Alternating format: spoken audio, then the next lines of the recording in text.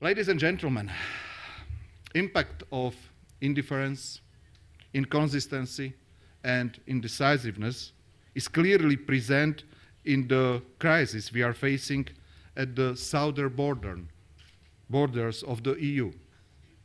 More and more, we witness how instability spreads from post conflict regions. The current, current wave of refugees from North Africa and Middle East demonstrates it. What once was a regional crisis has become a European problem and international responsibility. Europe is in desperate search for the principles and the rules how to face the immigration wave, how to help refugees, and at the same time, how to preserve our own security, how to stay devoted to our principles of humanism, how to deal with it economically, socially, and culturally, what we can handle and what may go over our limits. Every member state has its own hill to climb here, and Slovakia is no exception. We are not a country of entry of this massive wave of immigrants, and in fact, we have more or less zero experience with refugees. And yet, there are too many strong words and categorical statements in our domestic public discussion. It would be useful to calm down and let us all remember we are talking about human beings, women, children, and men, run, not running away from poverty, but from cruelty and murdering. We are not, we are not only able to help refugees, but we have moral obligation to do so. There are no easy solutions. Reallocations of refugees across the member states or some sort of uh, similar decisions may cure the symptoms for a while, but it will not address the causes and can't handle the wave of economic immigrants. At the same time, it would be unfair to leave the solution to the most exposed states.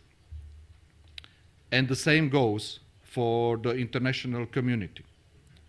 It is a European problem today, but will become a global one tomorrow if we do not cooperate all UN Security Council members must show responsibility. In the meantime, the most difficult part of our job is work with public opinion. Because if we do not explain why it is important to help those, those in need, we will leave room for extremists to make their political case. As I mentioned this week elsewhere, uncertain times we are living now are the test of the limits of our pragmatism. They are a challenge to our cohesion and principles of the European Union is built on. But most of all, in many countries, including my own country, it is a battle for hearts, minds, and trust of people. Ladies and gentlemen, the future will depend on our ability to adapt to a new reality, not to long for good old times. This will require bold new decisions, none of which will be popular or comfortable, but which are urgently needed. We must prepare for years of instability, but we need to protect our citizens. Our way of life remains the best answer to aggressive dogmas. So it is not surprise it will continue to be target for those who fear our way of life.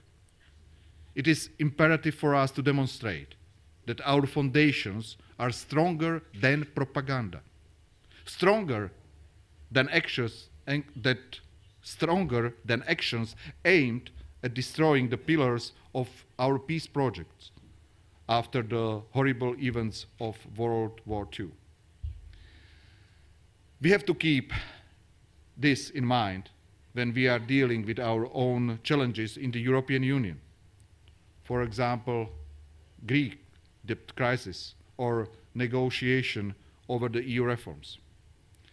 We should try to make sure they will not lead to the slow erosion and weakening for, of our European project.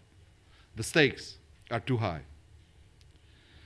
I am convinced we can succeed of, in our efforts. Our society can resist these challenges, and it is the best place for people seeking peace, freedom, and prosperity. They will be ready protected because it will be worth it. But we will be able to do so only if we do not accept the game of undermining our values. If we do not let ourselves to be trapped in our own indifference, inconsistency, and indecisiveness. Thank you for your attention.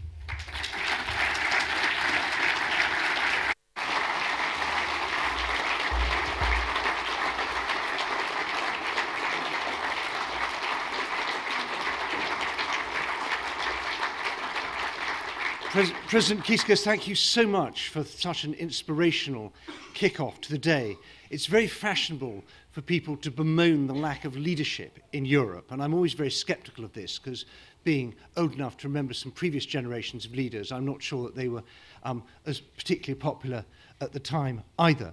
But I think what you've shown is that it's possible from uh, a Slovak point of view to have really important thoughts, not just about the very difficult foreign policy uh, position we're in, but also uh, these uh, very important domestic questions. And remembering the refugees who left Czechoslovakia after 68 and the welcome that they got, I think it's particularly good to have a, um, a, a Slovak leader now highlighting the moral dimension that I think particularly for Central European countries that don't have a reputation or a, a, a tradition of accepting migrants, um, but do have a history of having had to be migrants in the toughest possible circumstances. So thank you very much for that.